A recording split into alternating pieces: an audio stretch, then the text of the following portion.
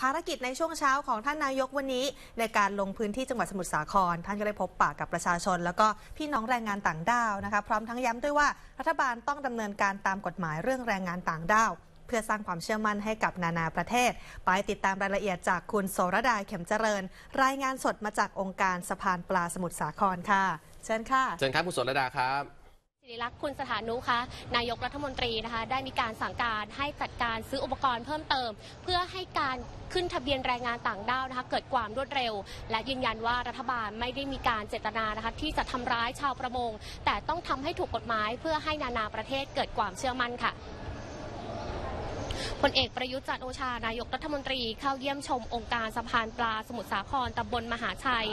โดยนายมานพการจนะบุรังกูล ผู้อำนวยการองค์การสะพานปลา ได้มีการบรรยายสรุปภาพรวมการดำเนินงานขององค์การสะพานปลา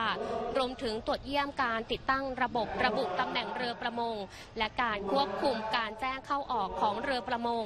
และชมสการสาธิตระบบฐานการข้อมูลสสแกนม่านตา โดยนายกรัฐมนตรีสั่งการให้กรมจัดหางานไปจัดซื้อเครื่องเพิ่มเติม และจัดชุดเคลื่อนที่ลงในพื้นที่แต่ละจุดให้ครอบคลุมเพื่อความรวดเร็ว รัฐบาลพร้อมให้การสนับสนุนสิ่งที่ขาด พร้อมรับฟังรายงานผลการดำเนินการจดทะเบียนแรงงานต่างด้าวแบบเบ็ดเสร็จ หรือ One Stop Service สมุทรสาคร โดยกำชับให้จัดขึ้นทะเบียนแรงงานต่างด้าว ให้แล้วเสร็จภายในกำหนดเวลาเดือนมิถุนายน หลังจากพ้นกำหนดจะไม่ผ่อนผันแล้วสำหรับสะพานปลาสมุทรสาคร เป็นสะพานปลาที่ใหญ่และทันสมัยแห่งหนึ่งรองจากกรุงเทพมหานคร เป็นตลาดกลางสินค้า สัตว์น้ำทั้งทางบกทางเรือ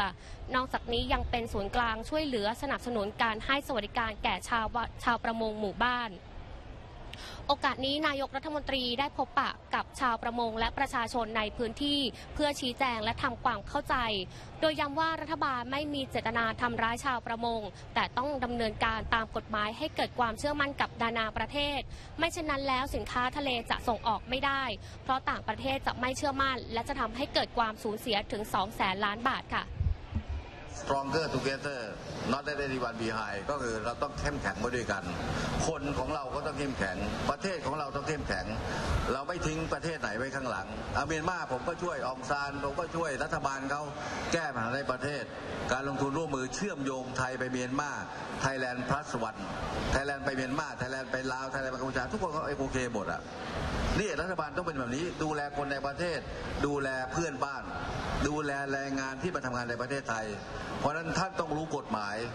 ถ้าท่านไม่รู้อะก็ถูกคนก็รังแกไปเรื่อย ไม่ได้ รู้กฎหมาย ไม่ต้องกลัวใคร กฎหมายเขาคุ้มครองเรา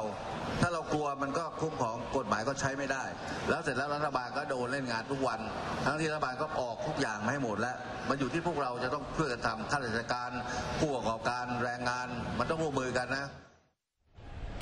ก่อนหน้านี้นะคะ นายกรัฐมนตรีได้เยี่ยมชมมูลนิธิเครือข่ายส่งเสริมคุณภาพชีวิตแรงงานตำบลบางยะแพรกอำเภอเมือง และกล่าวกับอาสาสมัครแรงงานเมียนมาหรือ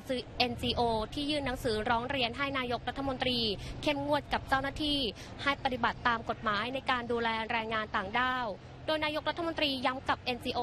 ว่านอกจากช่วยดูแลแรงงานแล้วต้องทำงานเชื่อมโยงกับทางรัฐบาล ช่วยสร้างความเข้าใจและเผยแพร่สิ่งที่ถูกต้องกับต่างชาติ โดยเฉพาะประเด็นการแก้ปัญหาการค้ามนุษย์ ว่ารัฐบาลได้ดำเนินการแก้ไขอย่างเต็มที่ จนมีความคืบหน้าในแนวทางที่ดี อย่างโจอย่าโจมตีอย่างมุ่งมั่น โจมตีในจุดบกพร่องของรัฐบาลเพียงอย่างเดียว ขณะที่นะคะแรงงานผิดกฎหมายที่รัฐบาลกเร่งดำเนินการปราบปรามอยู่นั้น ต้องอาศัยความร่วมมือจาก3 3ส่วนด้วยกัน ทั้งเจ้าหน้าที่รัฐผู้ประกอบการและแรงงาน พร้อมยืนยันว่าจะดำเนินการกับเจ้าหน้าที่รัฐที่มีส่วนเกี่ยวข้องกับการค้ามนุษย์ หรือทำผิดกฎหมาย โดยจะต้องถูกลงโทษเช่นเดียวกับผู้ประกอบผู้ประกอบการ หากไม่ให้ความร่วมมือก็ต้องดำเนินการ เจ้าหน้าที่มันมาวันเนี้ยให้ความสำคัญเรื่องนี้ แล้วเดี๋ยวนายกก็จะกำชับอีกหลายเรื่องด้วยกันความสำคัญคือต้องต้องทำให้เรื่องการประมงผิดกฎหมายเนี่ยภายหนึ่งกรกฎาคมเนี่ยเรื่องการสแกนมาตราต้องทำให้ได้ แล้วที่เหลือมันเดือนมีนาใช่ไหมขึ้นทะเบียนคราวนี้ปัญหาขึ้นทะเบียนมันมันช้าตรงไหนล่ะมันต้องพิสูจน์สัญชาติไง เราเข้ามาตอนแรกไม่ได้พิสูจน์ใช่ไหมเราพิสูจน์มาหลายปีแล้วก็ไม่เพราะว่ามันต้องเอาคนจากต้นทางเข้ามาพิสูจน์เมียนมามาลาวมามาชุดเขาน้อยไง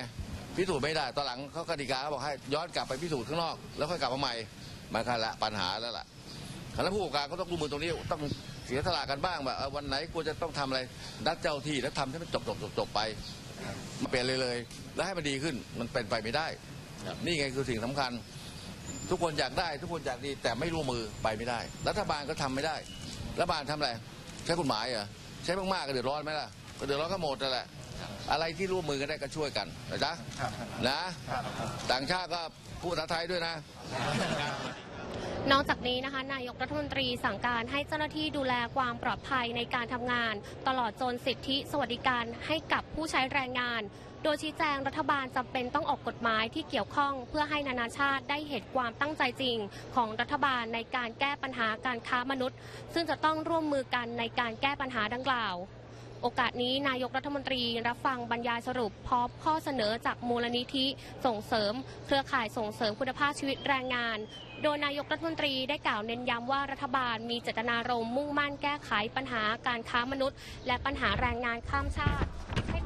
ให้เป็นรูปให้เป็นรูปธรรม และให้ความสำคัญต่อการทำงานของคณะทำงานต่างๆ ไม่ว่าจะเป็น NGO มูลนิธิหรือองค์กร ขอให้ช่วยกันนำปัญหาที่เกิดขึ้นมาขับเคลื่อน แก้ไขปัญหาให้ดีขึ้นตามลำดับทั้งนี้รัฐบาลพร้อมให้ความร่วมมือกับทุกหน่วยงาน และส่วนการดูแลแรงงานขอให้มองสองทาง ทั้งแรงงานไทยและแรงงานต่างประเทศ และขอให้คำนึงถึงหลักสิทธิมนุษยชนเป็นหลัก และขอให้ปฏิบัติตามกฎหมายอย่างเคร่งครัด ส่วนในการเยี่ยมชมบริษัทไทยยูเนียนกรุ๊ปจำกัดมหาชน ได้รับฟังรายงานแนวทางการพัฒนาสมุทรสาครให้เป็น hub of seafoodและการก้าวเข้าสู่การเป็นนครแห่งครัวโลก โดยนายกรัฐมนตรีขอให้ภาคเอกชนร่วมมือกับรัฐดำเนินการทุกอย่างให้ถูกต้อง เพราะขณะนี้ต่างประเทศจับตาดูอยู่ พร้อมเยี่ยมชมกระบวนการผลิต อุตสาหกรรมอาหารทะเลและพบปะและกล่าวทักทายพนักงาน ซึ่งส่วนใหญ่จะเป็นแรงงานจากประเทศเพื่อนบ้าน โดยมีล่ามภาษาเมียนมาคอยแปล